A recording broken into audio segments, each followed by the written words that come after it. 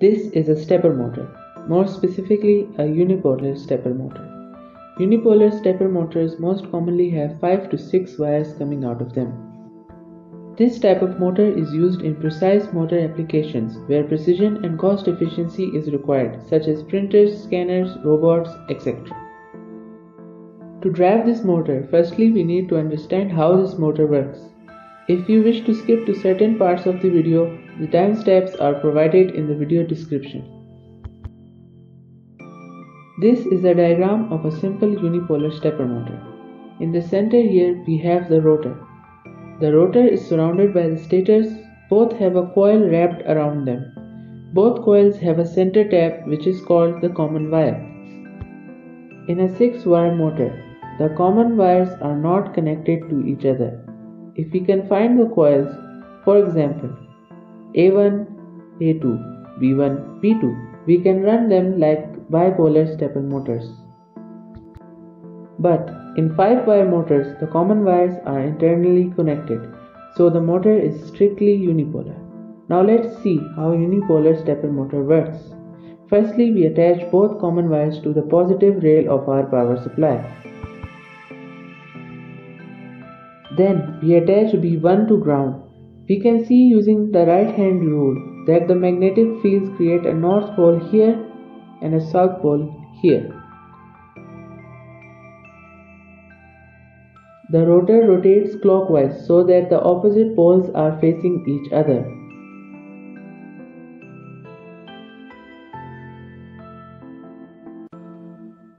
In the next step, we attach A1 to ground. The current flows in the coil and creates a north pole here and a south pole here. The rotor rotates clockwise so that the opposite poles are facing each other.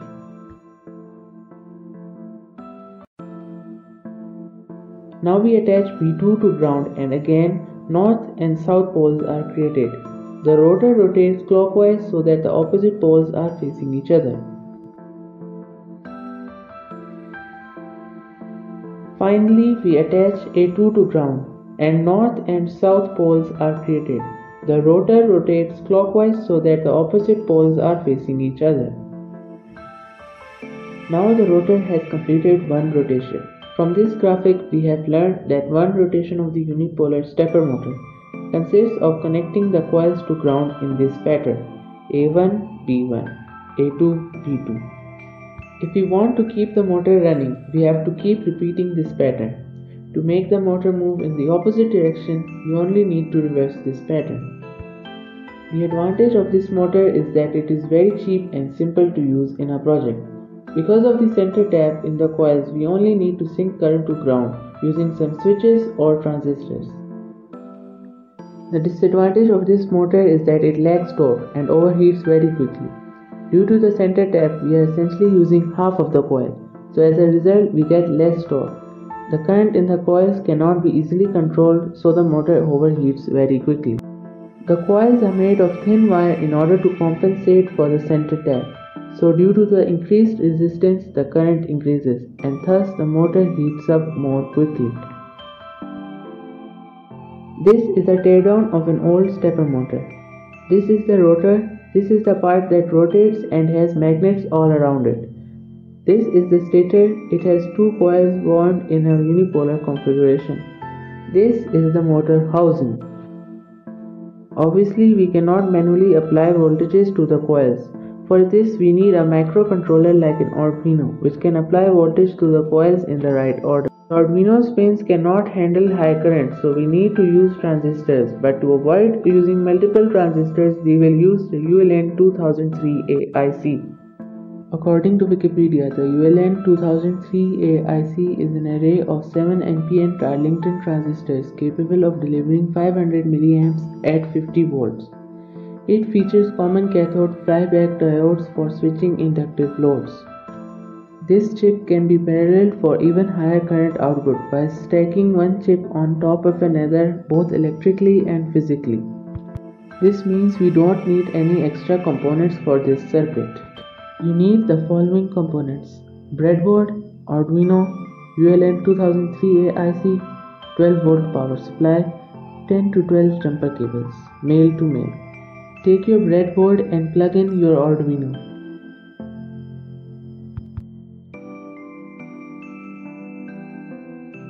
Take the ULN 2003A and plug it in the breadboard such that the notch is facing towards the Arduino. Now take 4 jumper wires. Now attach pin 8 of Arduino to in 1 of IC, pin 9 of Arduino to in 2 of IC, pin 10 of Arduino to in 3 of IC, pin 11 of Arduino to in 4 of IC.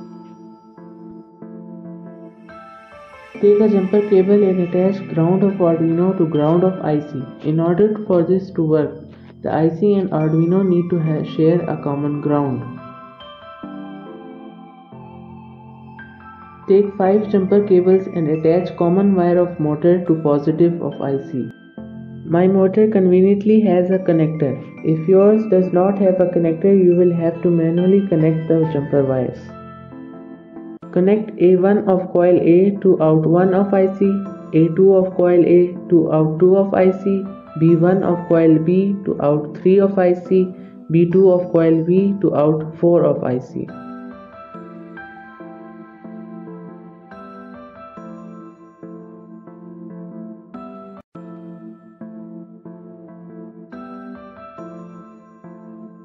Now take your 12 volt power supply and attach its positive to the positive rail of IC and ground of power supply to ground of IC.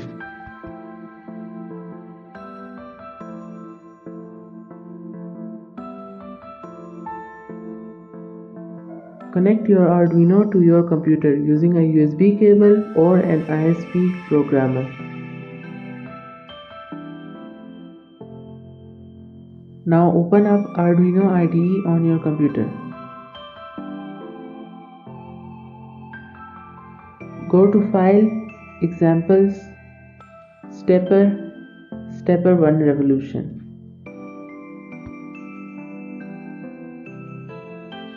Over here we will include our library. This is the stepper library and this example is by Tom Igoe. Over here we will enter our steps per revolution. Mine is 48. You can find yours by searching the model number of your motor. Over here we will specify the pins our motor is connected to. If your motor does not run on the first try, try changing the order of the pins.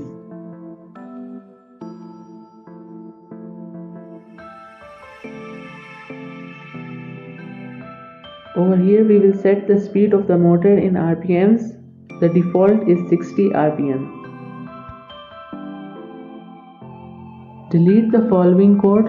You only need the line mystepper.step steps per revolution in the loop.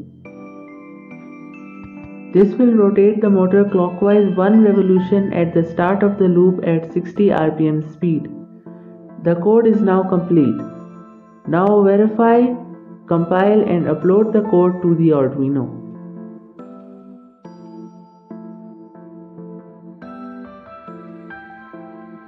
The motor should start spinning, which it does. The motor is now spinning at a fixed speed of 60 rpm.